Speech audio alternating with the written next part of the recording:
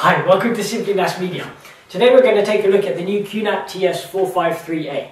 This is a brand new NAS, it's in a class of its own, even though it carries the X53 moniker that we're used to from the 453 Pro and etc.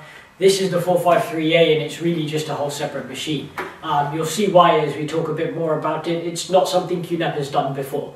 Um, so the TS453A comes in two bays all the way up to eight bay, um, being two, four, six, and eight. QNAP's general ranges and breakup. Um, it's a great NAS for home and Soho. Um, not really typically a small business, more a small home office. Um, for the main reason it's its processors not what we do for intensive tasks. However, it's great for what this NAS is meant for. It uses the new 14 nanometer Intel N3150 processor.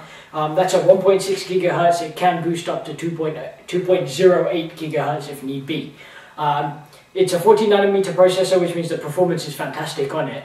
Um, but it also comes coupled with 8th generation Intel HD graphics. Now, this is the most important spec about this NAS. It is the most important spec for the simple reason it allows us to have double 4K output on this. There's two HDMI slots on the back of the NAS. We'll show you that when we turn the NAS around as we usually do. Um, but it basically means I can now have two streams concurrently of 4K video coming out. Or I can have, let's say, two monitors outputting at 4K at the same time. Now, why two monitors? Well, the TS453A is a dual OS NAS. Now, the dual OS NAS simply means the first OS is going to be QTS. Um, it's what we need on our QNAP NASs to run our QNAP NASs, it's what we're used to. Allows us to use HD Station, Plex Media Server, um, DLNA compatibility, capability, sorry, um, my QNAP cloud for our remote access and our personal cloud. So all of that is still available for you. However, the added the functionality of Ubuntu OS now as well, which you can dual boot into. So that brings the two monitor equation into it. One monitor can be running QTSV for your local access to your NAS, and the other one can be running Ubuntu. Now, why is Ubuntu important? Well, the main reason for Ubuntu on this, yes, you can do what you generally want to do with Ubuntu if you've got a Linux house and you're used to using Ubuntu for, let's say, a home lab, for instance. However, the main reason QNAP have built this in is for building of development and usage of IoT systems. So the Internet of Things is now the new big thing since about 2014. Um, it's supposed to boost really big in the next five years. The industry is supposed to grow to something like 100 million, 150 million. Um, everyone's now started going to home automation. I mean, we have Nests in the office ourselves. Um, so QNAP have really built you a hub here whereby everything can just be built onto your NAS and your NAS can be your hub. This is especially useful because we have my QNAP cloud that we can leverage as well. So everything can be remotely accessed on your NAS too. So that kind of gives us the flexibility of having our home automation products available on the cloud, but on a personal cloud as opposed to worrying about whose server our information is on. So that's the first new feature of the QNAP TS453A. Um, well, sorry, the second, because we spoke about the 4K output, now we spoke about the dual OS. The third new feature is something quite fun. Um, let's say you decided to have a home party, um, you've got a party at your house, you're having a house party, you've got some friends over. The QNAP TS453A can now be used as your own personal karaoke system. Um, there's an application that's just been released in the QNAP App Store called Ocean KTV. The back of the NAS, which we will show you, will allow you to connect up to two mics and a speaker. Um, so you can really have a lot of fun with this NAS that we've never really done with a NAS before. Um, that's just a nice, quirky, nice feature on the NAS that you can have a little bit of fun with. Aside from that, we've got our general NAS features. Virtualization station is supported on here. You do get it in two SKUs, 4 gig and 8 gig version. 8 gig is the max memory. However, of course, at Simply NAS here, we'll be testing the 16 gig configuration to see if it's stable on this. If it is, then we will offer 16 gig on the 453A, well, the X53A range, just like we've done on the X53 Pro range. Um, but let's just spin you around and you take a look at the back of the NAS. Another tidbit as well, all of the X53As come with the QNAP remote coupled, it comes with the NAS now. Uh, main reason being because this is a NAS that is meant for HDMI access, so the remote will come in handy for sure. Um, it just makes it easier for us to control it. Let's say you do lose the remote though, you don't have to go buy another one. Remember you can use the Q Remote app on the iOS and Android app stores as well. Um, but we'll tell you around, take a look at the back of the NAS because there are a few new connections at the back that you'd want to take a look at. So, taking a quick look at the back of the unit, um, you've got your big cooling fan at the back here. Here are the two new, well, three new ports, but I mean, we've had a speaker port before in the QNAP, that's not really new. These two 6mm jacks, these huge things over here, these are fantastic for fun. Um, they let you plug in two mics so you can have two people at the karaoke at the same time and they can have a good time. Um, it's just for fun, really. Um, but that being said, whilst they've purposed this as for karaoke, remember you could probably use this as a loudspeaker system now as well. So there's a couple of different uses. I'm sure we'll figure out as we get to know the NAS a bit more what exactly we can use the mics for, karaoke being one. I'm sure we can somehow find a way to leverage it as a loudspeaker system as well. So that's that's great. Um, if we can find a way, I believe the KTV app will also, the Ocean TV, sorry, the Ocean KTV app will allow you to also record the karaoke session. So if someone does really bad and you want to embarrass them later on, you've got that option too. And of course it saves to your NAS, so it's saved and redundant for life. Okay, moving on, next ports. Um, you've got two HDMI ports, that's for the 4K output.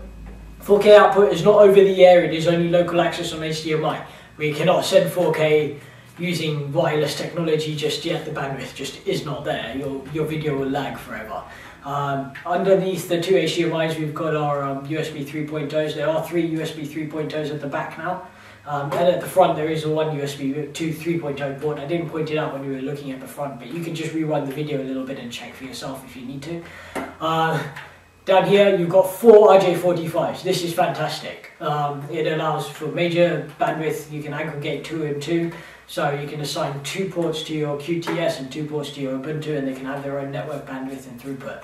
Um, that's fantastic for performance. Means if someone's doing something heavy on the Ubuntu side, it won't hurt the QTS side. Um, so you can probably play a 4K video whilst you're also um, working on Ubuntu. That being said, that was a bit redundant me saying that because the 4K video is local. So let's say we'll stream a 1080p video. Um, but that's generally the back of the NAS. One big difference here is the 453A kind of carries on from the 253A, whereby the PSU on the 4-bay is now external. Um, so you do have a power supply slot here, but you will have a big power block outside the NAS. Personally, here at Simply NAS, we prefer that. It means if something goes wrong with the power supply, it's not going to fry your blocks.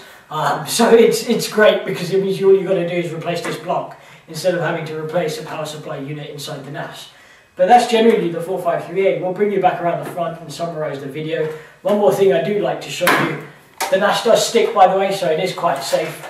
Another thing just to show you is just here, if you look at the top of the NAS, you've got our MyQNAP cloud. It does show in the video there. Um, so we've got our MyQNAP cloud. It'll just allow you to quickly set up MyQNAP cloud. You can use the QR code here. Alternatively, you can just log into the web UI um, and set up MyQNAP cloud the good old-fashioned way.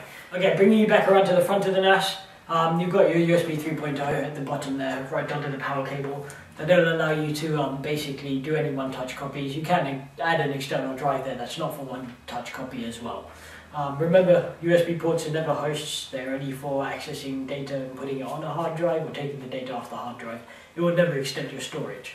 Um, the 453A is also compatible with expansion units. You can put one 800p and one 500p on there, not two of them, but one or one of the other. Sorry, I said that completely wrong. Probably made it completely confusing. Let's say again. You can put one QNAP 800p or one 500p on the NAS and extend the storage. It made a bit more sense, I think. Um, so that's really our, our summation video. Uh, Hitachi drives are sitting next to it because we recommend Hitachi NAS drives. Um, this is a home and home and Soho NAS. You don't need enterprise drives. You're not going to do anything enterprise intensive you're not supposed to on this box, so we're not going to, well, you can get enterprise drives if you like, but it just doesn't make sense. You're not going to use the power HGST NAS 7200 RPM spinning NAS drives, not like the other brands which are 54 and 5900 RPM spinning drives. So you get good performance out of the drive, you won't bottleneck your NAS, you don't break the bank like enterprise drives. HGST NAS drives are on sale. Uh, we do have a sale going on at Simply NAS here for drives. We do send out mails. Um, we don't spam you, so if you do want to actually get the mails and actually see the offers that are ongoing on, they are. We don't do offers all year round, so you're not going to get emails all year round. It's generally Thanksgiving, December, um, and generally around March is when we really do offers. That's really about it. Um, our industry doesn't allow for that many offers, so when they do come about, we really do recommend you snap them up. Um, but HGST NAS drives, we recommend them 3 terabyte, 2 terabyte, 4 terabyte, 5 terabyte, 6 terabyte. Um, any size you want, get whopping capacity out of the 4 bay with 6 terabyte drives. Very, very cheap. Um, the 453A, the whole X53A range is live on our website at the moment. If you hover over the QNAP side on our manufacturing, go to Home in Soho, You'll see the whole X53 range there. They are also available on the SMB side as well. Um, but again, as we've mentioned, we really do recommend it more for a home and small home office as opposed to anything else. Uh, that's our summation. If you did like the video, please do hit the like button, subscribe to our channel, that way you get notified when we do send out informative and fun videos like this. Um, that way you get to see my pretty face every day.